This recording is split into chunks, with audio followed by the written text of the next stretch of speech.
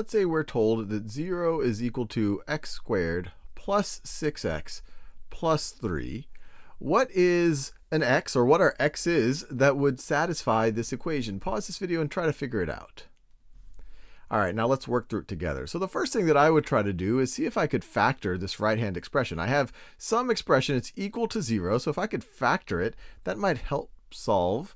So let's see, can I think of two numbers that when I add them, I get 6, and when I take their product, I get positive 3?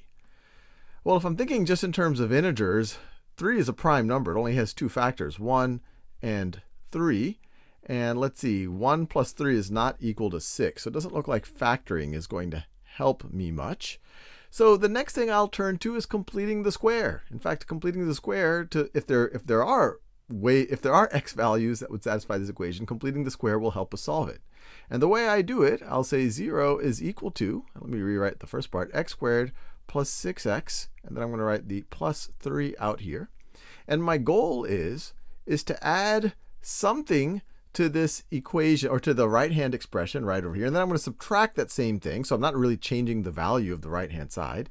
And I want to add something here that I'm later going to subtract so that what I have in parentheses is a perfect square. Well, the way to make it a perfect square, and we've talked about this in other videos when we introduced ourselves to completing the square, is we'll look at this first degree coefficient right over here, this positive 6, and say, okay, half of that is positive 3. And if we were to square that, we would get 9. So let's add a 9 there, and then we could also subtract a 9. Notice we haven't changed the value of the right-hand side expression. We're adding 9 and we're subtracting 9. And actually the parentheses are just there to help it make a little bit more visually clear to us, but you don't even need the parentheses. You would essentially get the same result. But then what happens if we simplify this a little bit? Well, what I just showed you, let me do it in this green-blue color, this thing can be rewritten as x plus 3 squared. That's why we added 9 there. We said, all right, we're going to be dealing with a 3 because 3 is half of 6. And if we squared 3, we get a 9 there. And then this second part, right over here, 3 minus 9, that's equal to negative 6. So we could write it like this. 0 is equal to x plus 3 squared minus 6. And now what we can do is isolate this x plus 3 squared by adding 6 to both sides. So let's do that. Let's add 6 there. Let's add 6 there.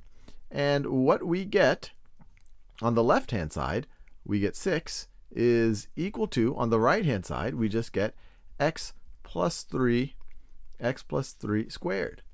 And now we can take the square root of both sides, and we could say that the plus or minus square root of 6 is equal to is equal to x plus 3.